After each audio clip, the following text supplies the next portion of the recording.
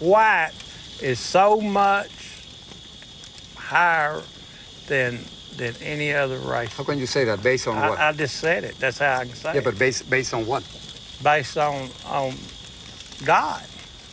We're God's people. Isn't that racism? Precisely racism. That's not racism. That's fact.